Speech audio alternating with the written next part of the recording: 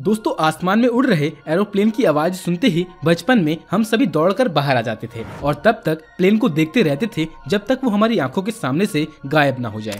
और एक आज का वक्त है जब एरोप्लेन से सफ़र करना बहुत ही आम बात हो गई है। लेकिन दोस्तों, हवाई जहाज़ से जुड़े ऐसे कई सवाल हैं जो आज भी हमारे दिमाग में घूमते रहते हैं। जहाँ एक पेड़ का हल्का सा पत्ता हवा में कुछ देर नहीं उड़ पाता तो आखिर कैसे ये हज़ारों टन के एरोप्लेन इतने सारे पैसेंजर्स को लेके हवा में उड़ जाते हैं? या फिर यूँ कहें कि ये टेक ऑफ़ और लैंडिंग कैसे करते हैं? तो दोस्तों, अगर आप भी जानना चाहते हैं इन अनोखे सवालों के जवाब तो बने रहिए आज की इस वीडियो के आखिर तक। चलिए वीडियो को शुरू करते हैं। दोस्तों, इन सब बातों को जानने से पहले जरा एक नज़र डाल लेते हैं एरोप्लेन्स के इतिहास पे।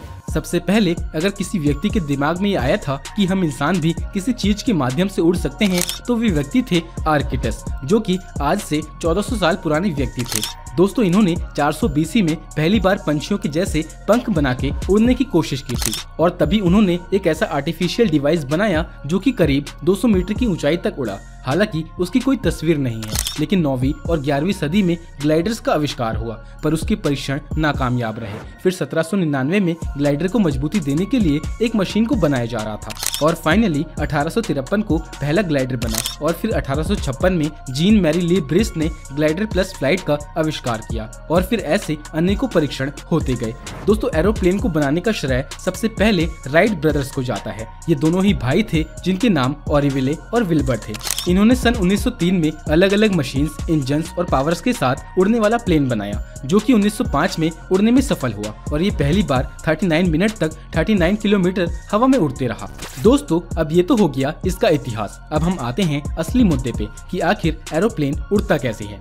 दोस्तों, हवाई जहाज़ कोई भी हो, उसे उड़ाने के दो फैक्टर्स मेन होते हैं। पहला होता है सक्सेसफुल टेक ऑफ़ और दूसरा होता है ज़ीरो नेट फोर्स और सन 1903 में राइट ब्रदर्स ने जिन साइंटिफिक प्रिंसिपल्स का इस्तेमाल किया था, वो थे बर्नौलिस प्रिंसिपल और न्यूटन का थर्ड लॉ दोस्तों, आसमान में उड़ने वाली कोई भी चीज़ पर चार तरह की फोर्सेस अप्लाई होती है। पहली है ग्रेविटी दूसरी है लिफ्ट फोर्स तीसरी है थ्रस्ट और चौथी है ड्रैग फोर्स अब ये चारों फोर्स बैलेंस हो, तभी एक प्लेन आसमान में अच्छे से उड़ पाएगा और इन सभी फोर्सेस को बैलेंस करने में सबसे मेजर रोल प्ले करता है एक प्लेन का डिज़ाइन अगर आपने कभी एरोप्लेन के स्ट्रक्चर पे ध्यान दिया होगा तो आपने भी नोटिस किया होगा कि प्लेन्स का ये डिज़ाइन पंछियों से इंस्पायर होकर बनाया गया है। और जिस तरह बर्ड्स के उड़ने के लिए उनके विंग्स सबसे ज़्यादा ज़रूरी होते हैं, उसी तरह एक सक्सेसफुल फ़्लाइट के लिए प्लेन्स के विंग्स का डिज़ाइन बहुत अहम होता है। ज़्यादातर प्लेन्स के विंग्स का ऊपर का सरफेस कर्व होता है, जबकि नीचे का ढांचा एक क्रॉस सेक्शनल आकार बनाता है, और इसे साइंटिफिक भाषा में एयर फॉइल कहते हैं। दोस्तों प्लेन्स के कर्व विंग्स हवा को नीचे की तरफ़ डिफ्लेक्ट करते हैं जिसके रिएक्शन में हवा का प्रेशर अपवर्ड डायरेक्शन में लगता है, जिसे लिफ्ट फोर्स कहते हैं। अब दोस्तों ग्रेविटेशनल फोर्स जो कि प्लेन को ज़मीन की ओर खींचती है और ये लिफ्ट फोर्स ये दोनों एक दूसरे से बैलेंस होकर नेट फोर्स को ज़ीरो कर देती हैं और इसी कारण हवा में प्लेन बैलेंस कर पाता है। अब भाइयों एरोप्लेन हवा में बैलेंस तो हो गया, लेकिन इसे आगे बढ़ाने के लिए एक प्रपोर्शन एसेलरेशन फोर्स की भी ज़रूरत पड़ती है, जिससे कि ये किसी डायरेक्शन में आगे की तरफ़ मूव कर सके। और इसके लिए एरोप्लेन में ये बड़े बड़े टर्बो प्रोपेलर्स लगाए जाते हैं। पंखों की तरह नज़र आने वाले प्रोपेलर्स मेन इंजन से जुड़े होते हैं। इन्हें इंजन ऑयल की मदद से स्टार्ट किया जाता है और थ्रस्ट पावर जनरेट की जाती है। और भाइयों, मैं यहाँ पे आपको ये भी बता दूँ की पहले जहाँ सभी प्लेन्स में सिर्फ़ एक ही तरह के टर्बो प्रोपेलर्स इंजन हुआ करते थे, वहीं अब मार्केट में तीन तरह के इंजन मौजूद हैं, जिनका नाम है टर्बो जेट टर्बो क्रॉप और टर्बो फ़ैन दोस्तों, दुनिया का सबसे बड़ा turbo engine G E nine X Boeing triple seven X में लगाया गया है। टर्बो इंजन से जनरेट होने वाली थ्रस्ट पावर प्लेन को टेक ऑफ़ और आसमान में आगे मूव करने के लिए हेल्प करती है। लेकिन जब प्लेन आगे की तरफ़ मूव होता है तो इस पे सामने से हवा का दबाव पड़ता है, जिससे कि ड्रैग फोर्स पैदा होती है। ड्रैग फोर्स प्लेन को फॉरवर्ड डायरेक्शन में मूव करने से रोकती है।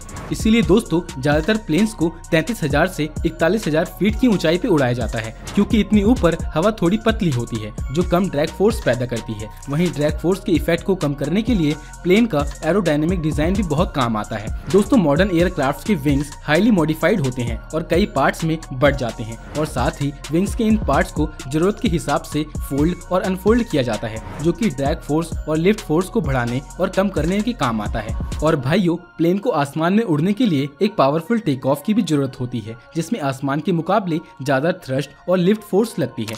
और इसी वजह से टेक ऑफ़ के वक्त विंग्स के इन फ्लैब और स्लाइडर्स को नीचे की तरफ़ एक्सटेंड कर दिया जाता है, जिससे विंग्स का सरफेस एरिया और कर्वेचर बढ़ जाता है और ज़्यादा हवा डिफ्लेक्ट होने लगती है।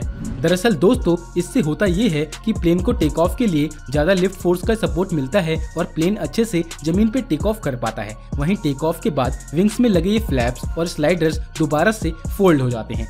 और इसके अलावा प्लेन को अलग अलग दिशाओं में मूव करने के लिए एलरन एलिवेटर और रडर का इस्तेमाल किया जाता है। दोस्तों पायलट एलिवेटर का इस्तेमाल फ़्लाइट के दौरान अपवर्ड और डाउनवर्ड डायरेक्शन में मूव करने के लिए करते हैं, जबकि प्लेन को लेफ़्ट और राइट डायरेक्शन में मूव करने के लिए रडर और एलरॉन्स का इस्तेमाल किया जाता है। और वहीं लैंडिंग के वक्त स्पॉयलर्स का भी इस्तेमाल किया जाता है। लैंडिंग के वक्त स्पॉयलर्स की वजह से ही ड्रैग फोर्स बढ़ जाता है और लिफ्ट फोर्स कम हो जाता है, जिससे कि प्लेन नीचे की तरफ़ आने लगता है। और आखिर में प्लेन की सेफ़ लैंडिंग के लिए लैंडिंग गियर को भी बाहर निकाला जाता है, जो कि प्लेन की हाई ड्रैग पावर को सरफेस की फ्रिक्शन से कंट्रोल करने में मदद करता है। और भाइयों, इस तरह प्लेन के टेक ऑफ़ से लेकर आसमान में उड़ने और फिर लैंड करने तक का सफ़र पूरा होता है। अब दोस्तों, आपने गौर किया होगा कि पहले की एरोप्लेन की खिड़कियाँ स्क्वायर शेप में होती थी, लेकिन ऐसी शेप होने की वजह से प्लेन की खिड़कियों पर हवा का दबाव किसी भी और पार्ट के मुकाबले दो से तीन गुना ज़्यादा पड़ता था। और इसी वजह से 20वीं सदी में कई प्लेन्स क्रैश हो गए थे, जिसके बाद 1950 में प्लेन्स की विंडो का शेप स्क्वायर से राउंड या फिर ओवल में कर दिया गया। अब दोस्तों, आप ये जानते हैं कि आखिर क्यों प्लेन की खिड़कियाँ ओवल और राउंड शेप में होती है। दोस्तों, पहले के समय में पायलट्स ज़मीन पर बड़े बड़े पहाड़ लैंडमार्क्स और एयरलाइंस को देखकर रास्ते का पता लगाते थे। लेकिन फिर जैसे जैसे टेक्नोलॉजी आगे बढ़ती गई वैसे वैसे इस समस्या का हल भी निकाल लिया गया। अब दोस्तों पायलट्स रास्ते का पता करने के लिए जीपीएस का इस्तेमाल करते हैं। दरअसल, जो जीपीएस रहता है, वो सिग्नल यूज़ करता है, जिससे की ट्रैफ़िक फ्लो स्पीड और आपकी डेस्टिनेशन की डिस्टेंस का पता लगता है। लेकिन भाइयों एरोप्लेन्स में एयरवेज यानी कि रूट्स के रोड मैप्स होते हैं और एरोप्लेन का जो जीपीएस होता है जो सिग्नल को यूज़ करता है और हवा, मौसम और डेस्टिनेशन के डिस्टेंस को एनालाइज करता है।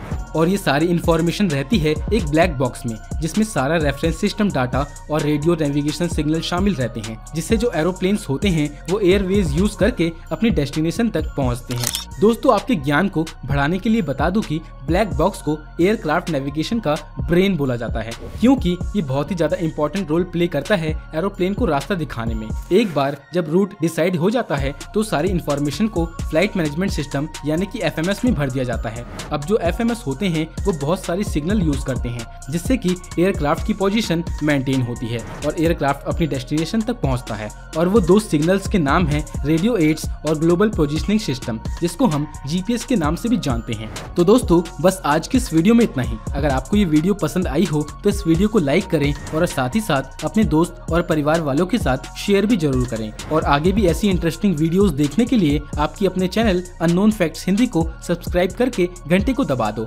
अब चलिए मिलते हैं अगली वीडियो में। आपका कीमती समय देने के लिए बहुत बहुत धन्यवाद।